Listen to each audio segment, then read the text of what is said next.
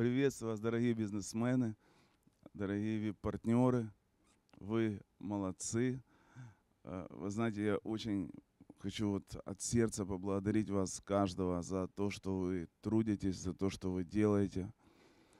За то, что благодаря вам сегодня есть люди, которые со слезами на глазах благодарят Иисуса Христа за то, что Он для них сделал. Но, знаете, так интересно, в Библии написано «за вас». Знаете, что в Библии «за вас» пишется?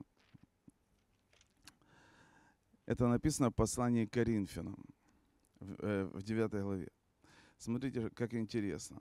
Апостол Павел, он с 8 главы начинает говорить о пожертвовании. Он говорит о церкви в Македонии. Вообще, эта церковь в Македонии, она очень известная до сих пор. Я сегодня буквально смотрел в интернете Македонию. Боже, какая она сейчас. Это, это просто какая-то что-то не- невероятно сказочное.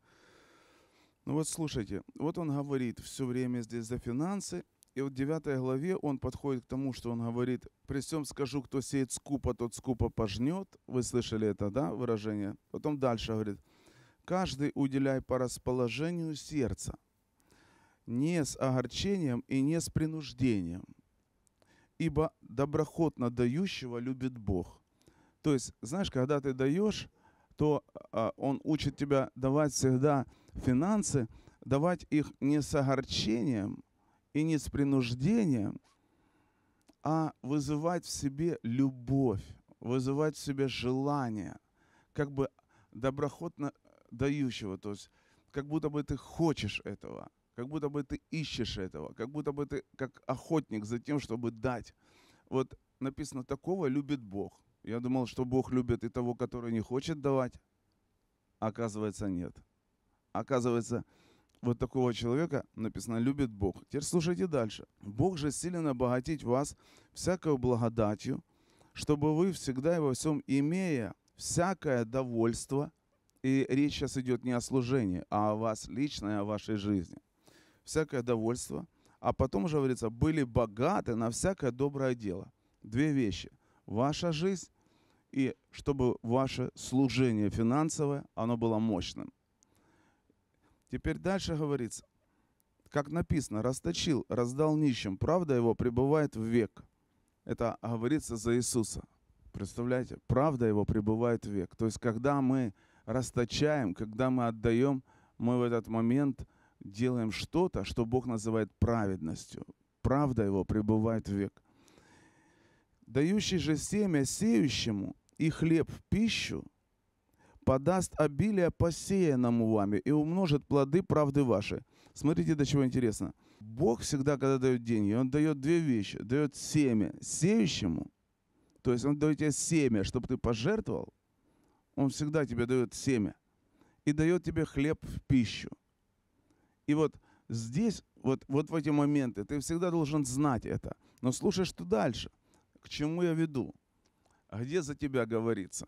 И умножит плоды правды вашей так, чтобы вы всем богаты были на всякую щедрость, которая через нас производит, внимание, благодарение Богу. Представьте, через нас, через наши жертвы, через наши партнерские, через наши там десятины производится благодарение Богу через других людей. Смотрите дальше. Ибо дело служения сего не только восполняет скудость святых, но и производит во многих обильные благодарения Богу.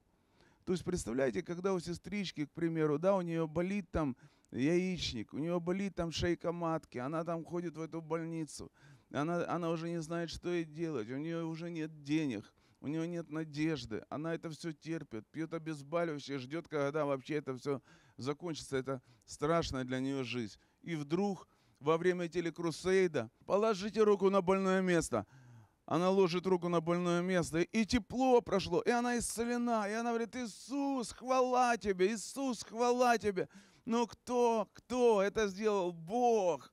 А посмотрите, кто воспроизвел это так, чтобы люди славили Бога?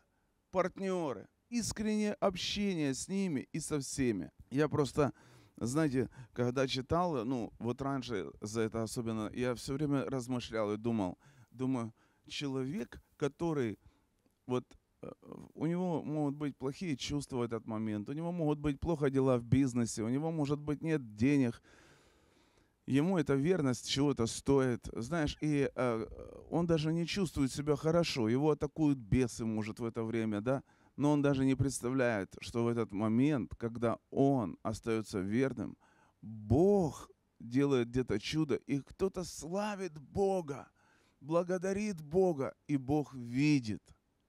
Он видит это благодарение, и он понимает. Он понимает, почему это произошло. Потому что чья-то верность оказалась дорогой к этому чуду чья-то верность. Понимаете, да, о чем вот идет речь? Интересный такой момент, что насколько важно для нас всегда опираться не на чувства, не на то, что в нашей жизни там происходит, а целеустремленно двигаться вперед. Ни в коем случае не сдавать назад, никогда. Никогда не позволять себе усомниться в чем-то. Никогда не позволять себе где-то поколебаться, потому что 10.38 евреям пишется, «Праведный верою жив будет, а если кто поколеблется, не благоволит к тому душа моя». У Бога есть душа, и он говорит, не благоволит к тому душа моя, кто поколеблется. Представляешь, но праведный верою жив будет. То есть нам нужно верить даже, но знаете, верить легко, когда видишь. А когда видишь совсем противоположное, вот это и называется верой. Вот это вера. И верой, именно верой мы угождаем Богу. Видя невидимого, Моисей был тверд. И вот посмотрите дальше, как интересно говорится – мы же не исколеблющихся на погибель, но стоим в вере к спасению души. Вы должны всегда знать это, что вот этот момент, он настолько ценный, он настолько важный, чтобы каждый из вас понимал, не опирайся на чувства, не опирайся на обстоятельства, не опирайся вообще на то, что происходит в мире – Сегодня может быть одно, завтра другое. Скоро может быть такое, что вообще мир покроет какая-то чума, понимаешь? Люди будут бояться вообще выглянуть в форточку. Может быть, война покроет весь мир. Может, еще что-то. Мы должны оставаться теми преданными слугами Божьими. Ведь Иисус это все говорил, что это будет. И это все исполняется. И мы служим мы идем вперед.